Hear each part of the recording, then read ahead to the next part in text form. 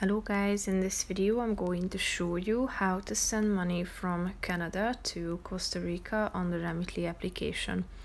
But first I just want to mention, don't forget to subscribe to my channel because at 100,000 subscribers I'm going to show you my whole YouTube revenue statistics and growth strategy, how to make money online. Now let's jump into it. First of all, open the app on your phone and tap on the flag icon tap on the search bar and type in Costa Rica into the search bar.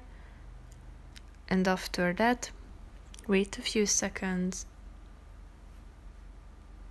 Tap on get started. Then type in the amount that you would like to transfer.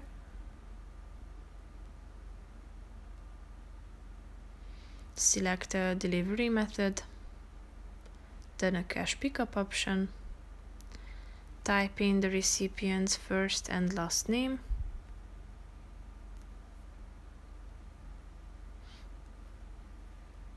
Type in the recipient's city and select their province and tap on continue.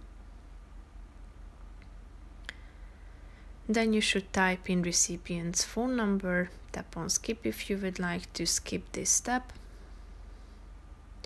Select add new card, type in your card details, and then scroll down and tap on next down below. So that's pretty much it for this video guys. See you in the next one. Bye bye